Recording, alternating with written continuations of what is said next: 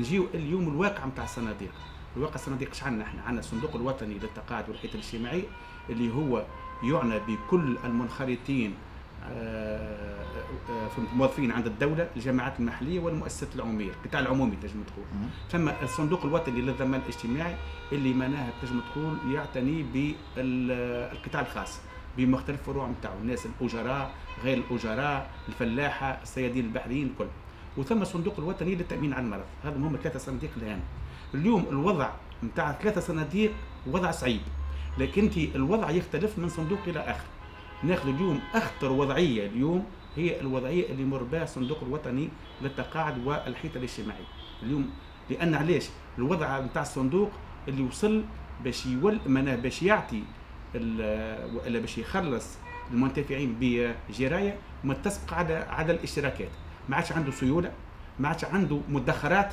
هذه كل الوضعية معناها أصعب وضعية نتاع الصناديق هي وضعية السناب فهمتني؟ وضعية الصندوق الوطني للتق... للضمان الاجتماعي والصندوق الوطني للتأمين على المرض عندهم صعوبات صحيح. توجيههم بالوحدة بالوحدة. لكن ما زلت عندهم نوع من الأريحية نتاع عام عامين عجز في نظام التقاعد نتاع ب 121 مليار. والعجز هذايا راهو تطور بارابور 2011 و2010 معناها إذا كان نشوف العجز من عام 2007 2007 بالرغم اللي زدنا ثلاثة نقاط في الاشتراكات وبالرغم من ذلك العجز باقي ماشي ويتفاق. بالنسبة للصندوق الوطني للضمان الاجتماعي إذا كان ناخذ صندوق ككل خاطر هو صندوق قاعد يتصرف في عدة أنظمة في عدة أنظمة. عنده عجز كصندوق ككل حوالي 80 مليار.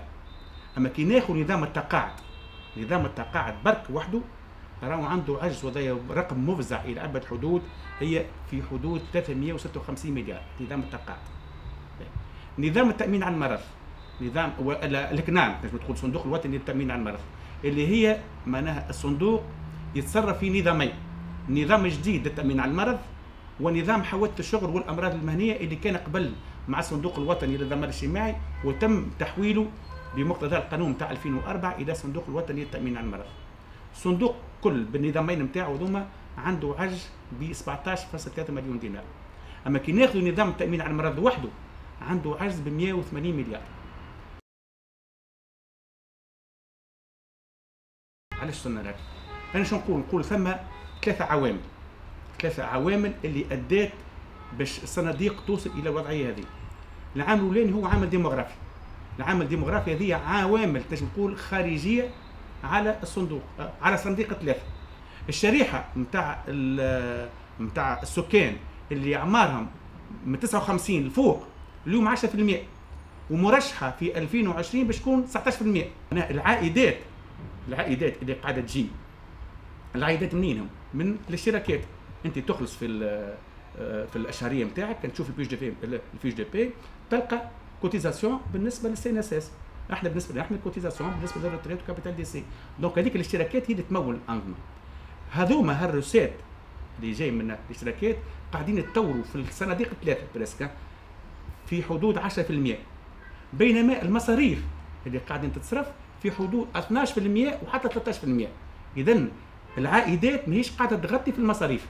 وهذاك هو من جاء العجز. الثمانينات كانوا 10 ناشطين يمولوا متقاعد اليوم 4.9 الكل 4.9 يساهموا على واحد. نجي من بعد عوامل اقتصادية.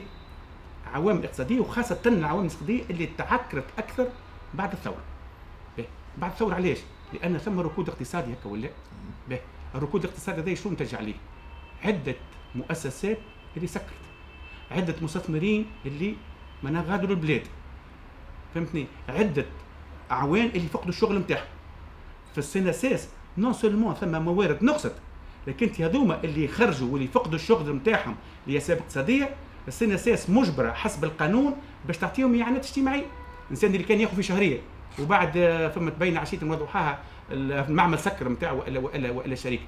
ال CNSS تعطي لمدة سنة إعانة اجتماعية à fonds perdu 200 دينار. بين 2011 و 2012 CNSS معناها اعطت منح ل 40800 عامل اللي فقدوا الشغل نتاعهم لاسباب اقتصاديه بكلفة تناهز 15.5 مليون دينار.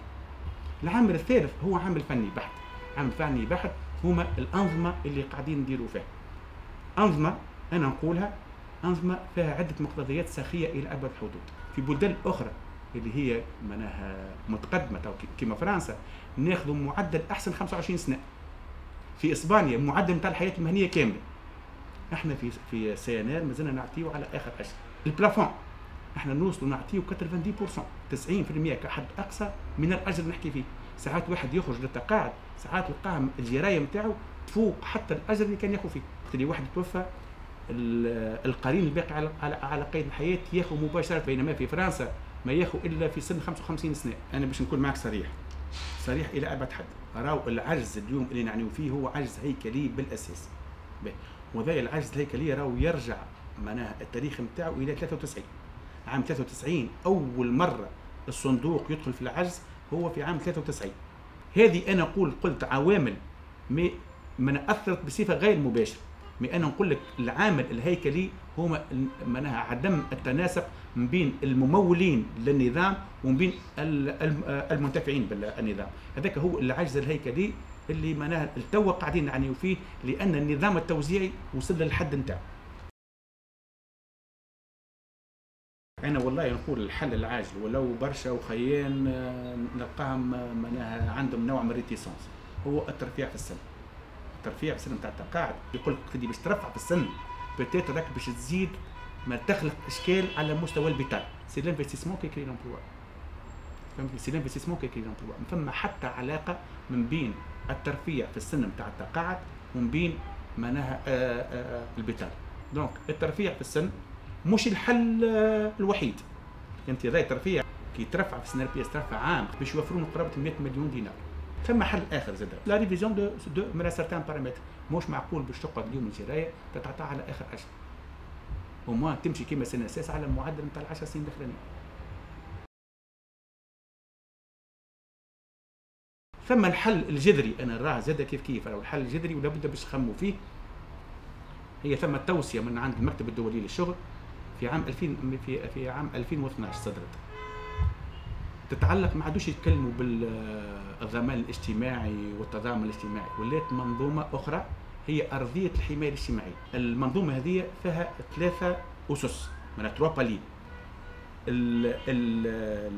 le premier palier ضمان حد أدنى دخل وتغطيه صحية دنيا un deuxième palier هو le palier contributif تو هذا نتاعنا mais les prestations plafonnées المنافع تكون محدده تقول لك أنا الجراية كما موجودة في فرنسا. الجراية نتاع النظام العام محدد ب 50% يقول لك أنا نضمن لك الحد الأقصى اللي هو اللي هو 90% يقول لك أنا نضمن لك الحد الأقصى 50% ولا 60% من بعد نجيو لل troisième palier اللي يحب هو الضمان باش يضمن. الفارق الكلي ولا الجزء. لازم نقول لك أنا نحب اخويا 80% تكفيني. فهمتني؟ donc يولي هو ينخرط في نظام آخر تكميلي نتاع 30% ويضمن زاد كيف كيف ال remboursement dans la limite الشيء اللي يحب عليه هو. donc تولي هكا منظومة متكاملة وتولي تناسق. فهمت تناسق من بين العباد الكل تكون عندها تغطيه ونضمنوا التوازن المالي نتاع النظام هذايا على المدى البعيد. غدوه راي بعد انتخابات أي حكومة باش تجي راهو هالموضوع هذا باش يكون محل تجاذبات إذا كان ما من توا وتقعد امال الحكومة اللي بتجي هي اللي باش تكمل. راهو صدقني أي حكومة باش تجي من بعد؟ أي حكومة؟ راي باش تولي راي محل تجاذبات وشكون الخسر؟ الخاسر هما المنظومة.